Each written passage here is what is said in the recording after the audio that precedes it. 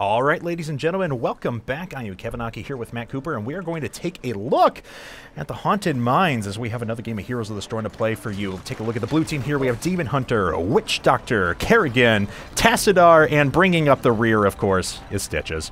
Now, on the red team side, we have, left to right, we have Tyrande, we have ETC, we have Raynor. Oh, thank you very much, Tyrande, for that. Gazlowe and Uther with what I honestly think, and no one agrees with me here, that's my favorite skin in the game, Lumberjack Uther. Genuinely is. Makes me laugh every time. How are you doing today, Matt? Oh, I'm doing great. It's awesome to be here. Yeah, we're going to take a little bit different look at things today, of course. Uh, it's not just going to be me and Dustin yelling our heads off. It is going to be me doing a little bit of that with Matt actually giving us some good design insight. And we're going to specifically be focusing in on Stitch's talents. So let's actually begin with that. Stitch's a big old character, has a big old hook. What can you tell us about his level 1 choices? Yeah, so he's got a couple different choices. He's got Regeneration Master, which is going to increase his health regen every time he, he gathers a regen globe. So you can kind of stack that up as the game progresses. He's got Path of the Warrior, which is going to give him some permanent health every time he levels. Oh, he missed his.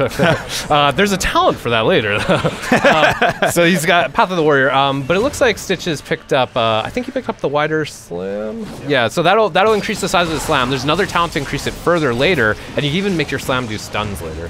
All right, well, he's already focusing into that, and of course gives him the ability to clear out these waves pretty quickly. Takes a little bit of damage there from ETC as he jumps in. Red team was collapsing here as Raynor is pushing very aggressively into bot lane. ETC pays for it, though. Not even that much damage done to the blue team. Uh, and a nice pull there. It looks like Tyrande is going to pay for this with her life. Yeah, goes down right at the last second there. And that's a two-kill advantage for our blue team, now up 2 to one. Now, of course, talents are going to hit every few levels, specifically 1, 4, 7, 10, 10, 13, 16, and 20. We'll make sure to check in every time we get to one of those levels so we can talk about what abilities are available for our teammates. Oh, another very great grab there. ETC gets pulled right back into the mix, takes a little bit of damage as he tries to fly away. Now, of course, we are on Haunted Mines. This is a two-lane map in which, after a period of time, teams can actually get access into these mines, as you see our observer, Tim Frazier, taking a look at it there. Once you jump into these mines, there are a bunch of minions down there that you can kill. Every time you kill one of those minions, you pick up a skull. There are 100 skulls to gather down at the bottom of the mines. When all 100 are gathered, a, uh, uh, a grave golem actually spawns for both teams proportional to the amount of skulls that your team gathered. So the more skulls you get, the stronger your golem is. Uther taking some great damage, but of course, he's Uther. He doesn't care. He just walks away, heals himself up a little bit more. Damage reapplied back to Stitches. ETC trying to re-engage. Nice shield comes in though, and that's uh, good help from Tyrande, and is going to save Ku's life. Let's take a look here at the bottom lane. We haven't paid much attention here. It pretty much was Raynor pushing against the Witch Doctor all day long. We're getting very close to level 4, and there it is. Level 4 has hit. Let's talk about the talents that Stitches can use now. So he's got Amplified Healing, which is going to increase his health regeneration. It's going to increase the healing he gets from using his Devour, and of course, any heals he gets. Now, Stitches doesn't have a healer on his team this game. He's got Tassadar, who's going to shield him, but that's not going to affect Amplified Healing. He's got Superiority, which reduces the damage he takes from, from minions, um, which makes him, you know, it's better for jungling, it's better for going into the the uh, the mines, and then he can upgrade his passive, his trait here, um, to make it larger radius, do more damage, and all around just better. And it looks like that's what he's done. Now, this is two traits in a row that we've actually seen Stitches go for something that increases his AoEs, does a little bit more damage, zones out fights a little bit more effectively. Oh, Tyrant throwing a shot there and uh, misses everyone. Wasn't able to gather vision on anyone. Um, so let's see here. So Stitches is actually building himself into quite a presence in team fights. Oh, Kerrigan jumps right on top of Raynor. No sexual tension there. And uh, Kerrigan manages to snag Raynor's kill.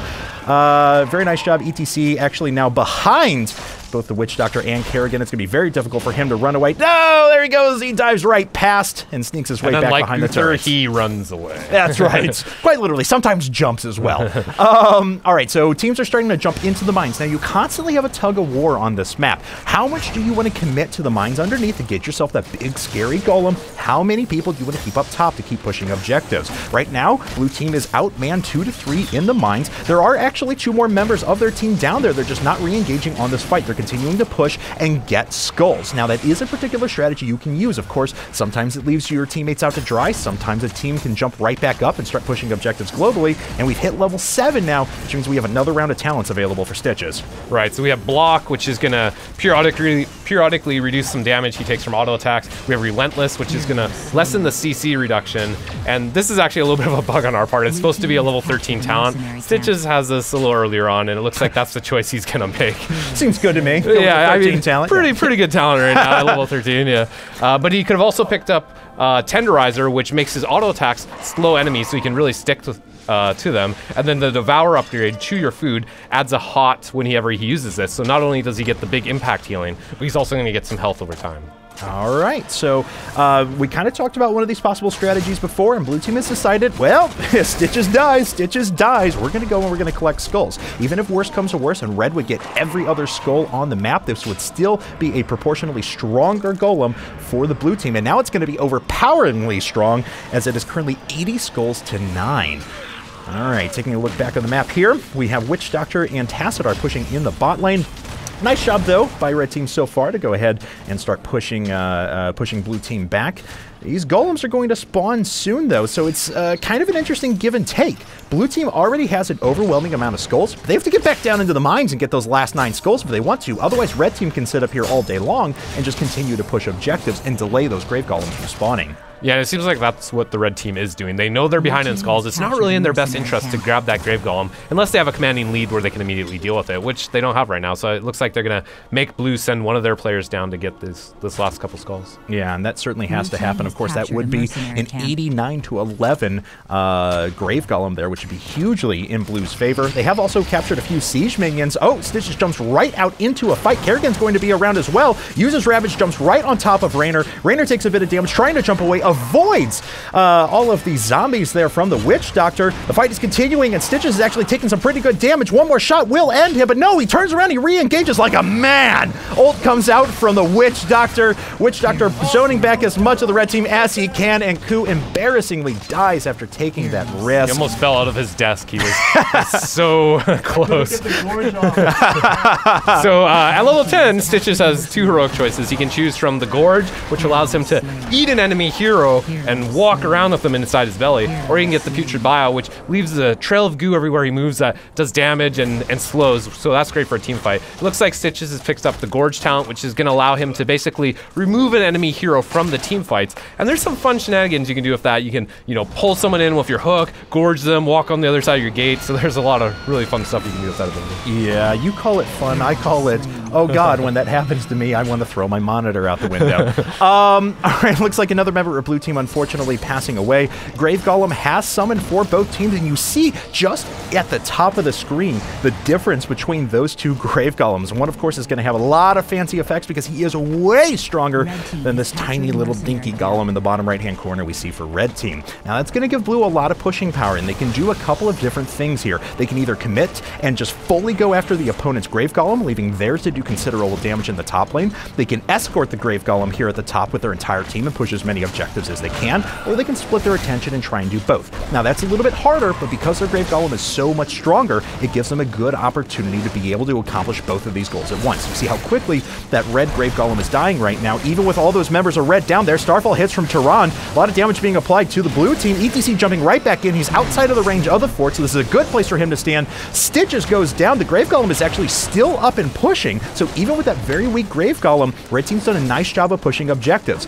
However, they haven't even done anything to the Grave Golem sitting at the top for blue. All right, so this fort is about to die here. Raynor pops an ult, and of course, did spawn a couple of Banshees rather than his Hyperion. Those Banshees will run alongside him and deal damage to anything they possibly can. Tassadar takes some damage as he tries to back away here. He will get out Claudio, uh, putting his body in front of the red team there for a second just to make sure that his teammate wouldn't die. And looks like we do have level 13 now, so we've got a new round of talents for Stitches. Yeah, so he's got Spell Shield, which will reduce some damage he takes from spells. Great against abilities like Snipe that are high damage. He's got Mega Smash, which will drastically increase the radius of his Slam ability. And that can, of course, play into the next talent that will um, add stun to that. He's got Indigestion, which will spawn a Retchling every time he uses Devour.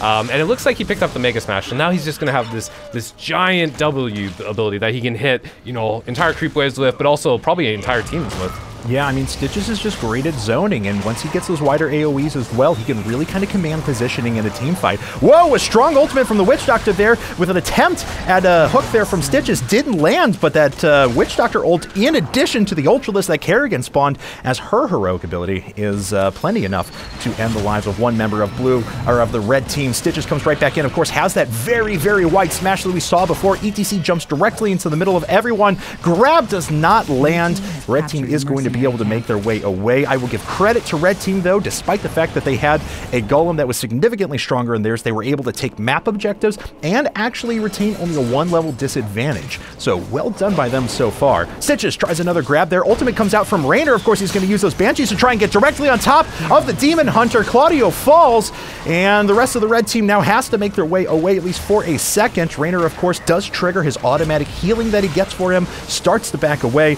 More abilities coming in as Starfall hits again for Tyrande. Oh, Kerrigan comes out of the bushes, uses her Ravage, does a little bit of damage, but immediately gets pummeled by the rest of the red team. Blue team is trying to make their way out of their stitches down to just the last little bit of health, and red has tied up the levels and has started pushing on their own. In the bot lane, we do have some uh, mercenaries, those knights that are pushing for the blue team, and it is going to be enough to kill this fort. But is it enough to really give them the advantage that they're looking for? Red team has done a nice job at coming back. Now we're at level 15. At level 16, we're going to have our last set of, I guess what I like to term the, the normal uh, talents, because once we hit level 20, we start to get into those storm powers. So what do you think Stitches is maybe going to be looking at as he moves into level 16 here in a second? Well, he can upgrade the range of his hook, which is great talent. I love this one, but I think he's actually going to go with the one that adds a stun component to his slam ability. Um, he's already picked up two talents that increase the size of the slam, so it's just gigantic by now. Um, we can see just how big that is when he uses it. Um, and there's a couple other talents he can pick up here that were, you know, they can be they can be decent, but we're gonna see what he picks when he gets it. I'm I'm probably leaning towards the slam.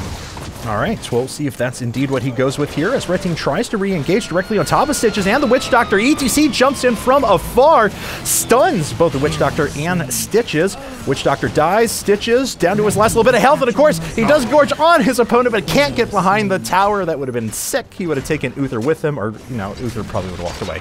Um, but in any case, Blue Team has once again gone with the strategy that they're going to sit back and they're going to play the Grave Golem game. They're allowing Red Team to push up in this bot lane, and that's actually doing significant damage. In fact, once this fort goes down, we're going to start to see catapult minions, and this is going to allow Red Team to start directly sieging their opponent's palace.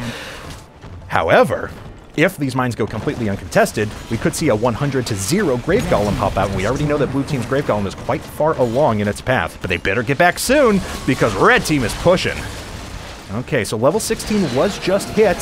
And Stitches did gain those new abilities, as we were talking about before, had the choice of one of those talents. Ultimate's coming out for Demon Hunter there, does a significant amount of damage to Uther, but of course Uther heals right back up, continues to take more damage, and walks out of the fight. Red Team takes some damage here as uh, Raynor tries to get into the mix, but unfortunately he's taking shots directly from the palace, and it drains his health very, very quickly. There finally comes out his ultimate.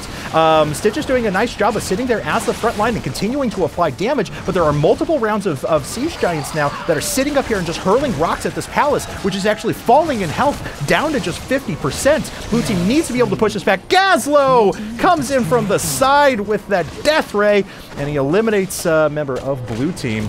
Looks like, uh, let's see here, that was actually Kerrigan that fell. And Demon Hunter goes down as well, so even though red team is being repelled right now, oh, things are not looking good for blue. All right, so down in the mines, it's 50 skulls to nothing right now. Of course, blue team has completely abandoned that. And, oh, nice grab there. Stitches starts walking back after he eats Raynor for a bit. Raynor taking some huge damage. There's a nice heal in from Uther, though, and immediately Raynor is back up to full health and he walks away. Yeah, Raynor has his uh, one of his passive E abilities, basically that every time he gets low, he's just going to regenerate a bunch of health. Um, and then, of course, with Uther there as well, that's a lot of healing. Mm-hmm. You almost have to kill him twice, really. That's about what it amounted to right there. Now, we did see from our observer view there that there were two rounds of uh, siege mercenaries that were actually siege giants that were pushing for blue team in the top lane. So they as well have pushed all the way to their opponent's palace. Now, of course, their opponent's isn't as low as theirs is right now, but it gives an opportunity. Oh, very nice grab. Hold on to that thought for just a second as Raynor is taken in. Though, comes in from the side, applies a little bit of healing, and it looks like once again that Raynor is going to be able to back away. However, the skulls are now ticking up. We're up to 60 now almost for the blue team, and if they can get that 100 to 0 Grave Golem, they've already pushed up to their opponent's palace as well, as well, and it may give them what they need to be able to finish this game outright. Oh, look at that ult from the Witch Doctor actually pins, uh, pins, ooh, what's that actually? The, uh, anyway, Oh, thank you very much. Tyrande yeah. against the side there. Raynor Ooh. trying to make his way back in. Nice stun from ETC. Really, really nice job of timing exactly where the Witch Doctor was we, we saw that Witch Doctor use the uh, Ice Block talent there, which makes him invulnerable for a couple seconds. But in that kind of situation where you got three heroes on top of you, you're really just postponing the inevitable for a couple seconds.